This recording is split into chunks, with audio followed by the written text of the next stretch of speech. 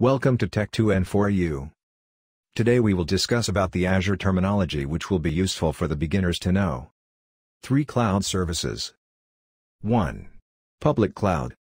The cloud resources, like servers and storage, are owned and operated by a third-party cloud service provider and delivered over the Internet. 2. Private Cloud. The private cloud can be physically located at your organization's on-site data center or it can be hosted by a third-party service provider. 3. Hybrid cloud. It is a type of cloud computing that combines on-premises infrastructure, or a private cloud, with a public cloud. Azure Cloud Services Model. There are mainly three types of clouds in Microsoft Azure are 1. Platform as a Service, PaaS, 2. Software as a Service, SaaS, 3. Infrastructure as a Service, IaaS. You can see the below chart and get the understanding about the services. Regions Azure is a global cloud platform which is available across various regions around the world. When you request a service, application, or VM in Azure, you are first asked to specify region. The selected region represents data center where your application runs. Data center. In Azure, you can deploy your applications into a variety of data centers around the globe. So, it is advisable to select a region which is closer to most of your customers. It helps you to reduce latency and network requests. Azure Portal. The Azure Portal is a web-based application which can be used to create, manage and remove Azure resource and services. It is located at https://portal.azure.com. Resources Azure Resource is an individual computer, networking data or app hosting services which charged individually. Some common resources are virtual machines, storage account, or SQL databases. Resource groups an Azure Resource Group is a container which holds related resource for an Azure solution. It may include every resource or just resource which you wants to manage. Resource Manager Templates. It is a JSON which defines one or more resource to deploy to a resource group. It also establishes dependencies between deployed resources. Automation. Azure allows you to automate the process of creating, managing and deleting resource by using PowerShell or the Azure Command Line Interface. Azure PowerShell. PowerShell is a set of modules that offer commandlets to manage Azure. In most cases, you are allowed to use the commandlets command for the same tasks which you are performing in the Azure portal. Azure Command Line Interface. The Azure CLI is a tool that you can use to create, manage, and remove Azure resources from the command line. REST APIs. Azure is built on a set of REST APIs help you perform the same operation that you do in Azure Portal UI. It allows your Azure resources and apps to be manipulated via any third-party software application. Next category Compute. It has the following components. Virtual Machine, allows you to deploy any language, workload in any operating system. Virtual Machine Scale Sets, allows you to create thousands of similar virtual machines in minutes. Azure Container Service, create a container hosting solution which is optimized for Azure. You scale and arrange applications using kubedcos, Swarm or Docker. Azure Container Registry, this service store and manage container images across all types of Azure deployments. Functions, lets you write code regardless of infrastructure and provisioning of servers. In the situation when your function's call rate scales up. Batch, batch processing helps you scale to tens, hundreds or thousands of virtual machines and execute computer pipelines. Service Fabric, Simplify microservice-based application development and lifecycle management. It supports Java, PHP, Node.js, Python, and Ruby.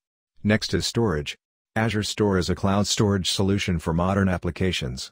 It is designed to meet the needs of their customers' demand for scalability. It allows you to store and process hundreds of terabytes of data. It has the following components. Blob storage, Azure Blob Storage is a service which stores unstructured data in the cloud as objects slash blobs. You can store any type of text or binary data, such as a document, media file, or application installer. Queue Storage, it provides cloud messaging between application components. It delivers asynchronous messaging to establish communication between application components. File Storage, using Azure File Storage, you can migrate legacy applications. It relies on file shares to Azure quickly and without costly rewrites. Table storage Azure Table Storage stores semi-structured NoSQL data in the cloud. It provides a key attribute store with a schemaless design. Next is database. This category includes database as a service which offers SQL and NoSQL tools. It also includes databases like Azure Cosmos DB and Azure Database for PostgreSQL. It has the following components. SQL Database. It is a relational database service in the Microsoft Cloud based on the market-leading Microsoft SQL Server Engine. DocumentDB. It is a fully managed NoSQL database service which is it built for fast and predictable performance and ease of development. Redis Cache. Next is Content Delivery Network. CDN caches static web content at strategically placed locations. This helps you to offer speed for delivering content to users. It has the following components.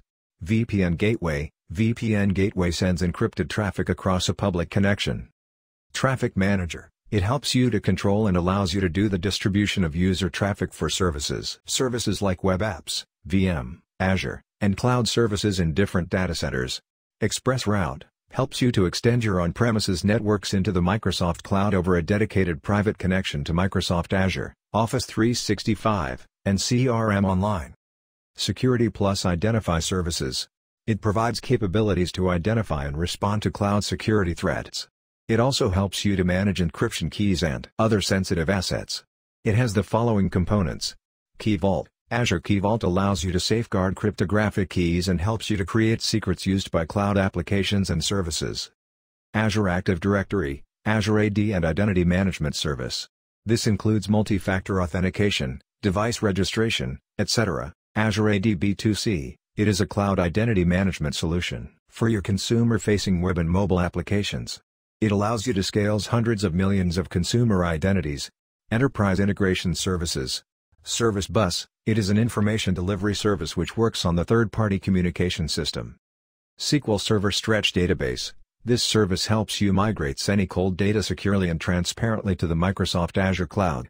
Azure AD Domain Services, it offers managed domain services like Domain Join, Group Policy, LDAP, etc. This authentication which is compatible with Windows Server Active Directory. Multi-factor authentication, MFA is two-step verification. It helps you to access data and applications to offers a simple sign-in process. Monitoring plus management services.